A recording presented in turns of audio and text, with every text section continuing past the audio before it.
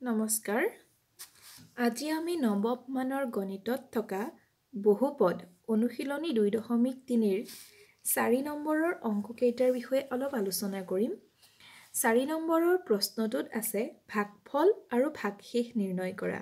ইয়াত এক নম্বৰ প্ৰশ্নটো মই লৈছোঁ আলোচনা কৰিবৰ বাবে। ইয়াত এটা বহুপদ ৰাশি দিয়া আছে। যাক আন এটা বহুপদ ৰাশি এক্স মাইনাছ টুৰে হৰণ কৰিব লাগে। এতিয়া আমি হৰণ কৰিব লাগে আৰু কি উলিয়াব লাগে? ভাগফল আৰু ভাগশেষ নিৰ্ণয় কৰিব লাগে। আমি আগতে শিকিছিলোঁ কেনেকৈ হৰণ নকৰাকৈয়ে ভাগশেষ নিৰ্ণয় কৰিব পাৰি। ইয়াত কিন্তু অকল ভাগশেষ উলিয়ালেই নহ'ব যিহেতু ভাগফলো উলিয়াব লাগিব।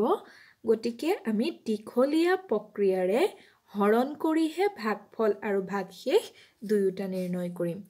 এতিয়া মই অংকটো দীঘলীয়া প্ৰক্ৰিয়াৰে কেনেকৈ হৰণ কৰিব পাৰি লিখি লৈছোঁ।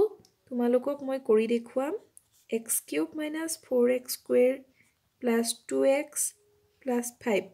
ইয়াক আমি হৰণ কৰিব লাগে এক্স মাইনাছ টুৰে এতিয়া দীঘলীয়া প্ৰক্ৰিয়াৰে আমি যেতিয়া হৰণ কৰিম প্ৰথমতে আমি সদায় এইটো ৰাশি আৰু এইটো ৰাশি চাব লাগিব। প্ৰথমটো হৰণ কৰিবলগীয়া ৰাশিটো আৰু হৰণ কৰা ৰাশিটো এইটো চোৱা ইয়াত চাম আৰু ইয়াত চাম হয়নে? এই দুটাত চোৱাচোন ইয়াত আছে এক্স ইয়াত আছে এক্স কিউব। যিকোনো অংকতে সদায় আমি ইয়াৰ প্ৰথম ৰাশিটো চাম আৰু ইয়াৰ প্ৰথমটো চাম। এতিয়া চোৱাচোন এক্সৰ লগত কি পূৰণ কৰিলে এক্স কিউব ওলাই? আমি প্ৰথম সেইটো উলিয়াই ল'ব লাগিব। আমি জানো এক্সৰ লগত এক্স স্কুৱেৰ পূৰণ কৰিলে এক্স কিউব ওলায়। গতিকে ইয়াত আমি সেইটোকে লিখি দিব লাগিব।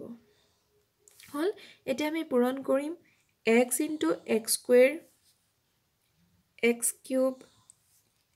অকল এইটোৰ লগত পূৰণ কৰিলেই নহ'ব। বাকী যিটো মাইনাছ টু আছে সেইটোৰ লগতো আমি এক্স স্কুৱেৰটো পূৰণ কৰিব লাগিব। এতিয়া minus two into x square minus two x square. এতিয়া আমি কি কৰিম? বিয়োগ কৰিম। আমি যেনেকৈ বিয়োগ কৰোঁ ঠিক তেনেধৰণৰে বিয়োগ হ'ব। ইয়াত আচলতে কি চিন আছিলে? প্লাছ চিন আছে হয়নে? কিন্তু বিয়োগ কৰিলে ইয়াত কি চিন আহিব? মাইনাছ চিন আহিব। X cube minus x cube zero' হ'ল। ইয়াত কি চিন আছে? মাইনাছ আছে।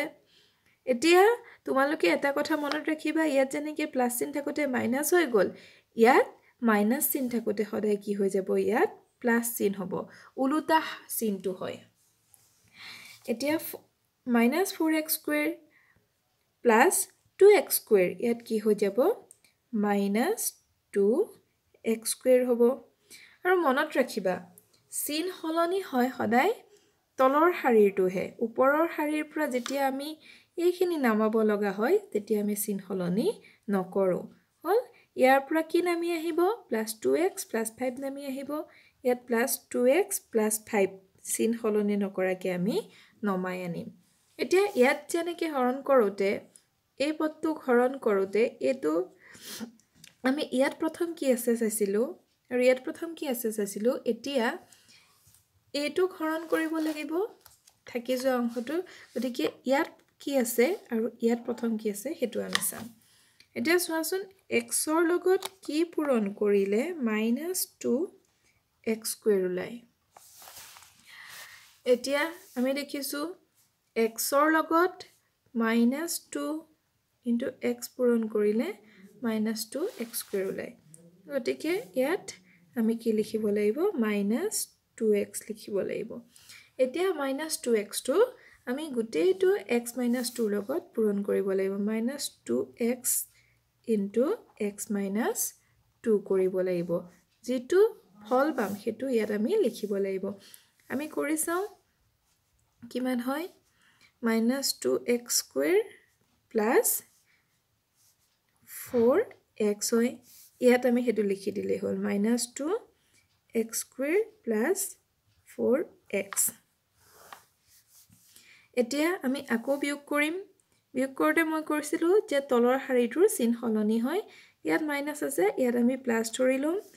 ইয়াত প্লাছ আছে ইয়াত আমি মাইনাছ ধৰি ল'ম এতিয়া two x square plus two x square zero' হ'ব নালাগে আমাক।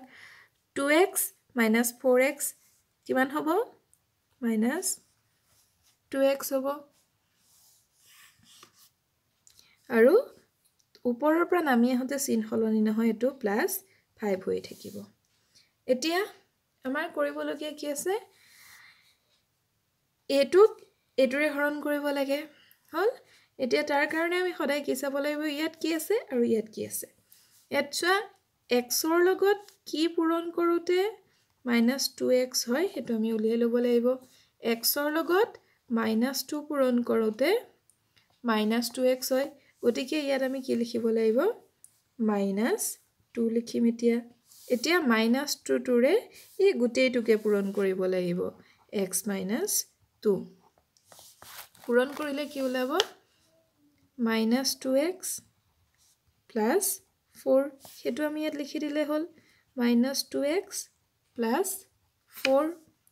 এতিয়া বিয়োগ কৰোঁ ইয়াত চিন কি হ'ব? তলৰ শাৰীটোৰ চিন সলনি হয় বুলি কৈছোঁ। ইয়াত প্লাছ হ'ব ইয়াত মাইনাছ হ'ব। Minus two x plus two x শূন্য হৈ যাব। এতিয়া প্লাছ ফাইভ মাইনাছ ফ'ৰ ইয়াত কি থাকিব? এক থাকিব। এতিয়াহ'লে আমি ভাগফল কিমান পালোঁগৈ? আমি ভাগফল পালোঁ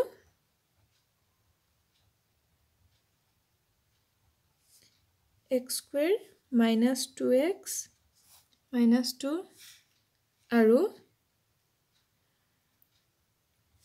ভাগ শেষ পালোঁ আমি ওৱান। এনেধৰণেৰে আমি অংকটো কৰিব পাৰোঁ।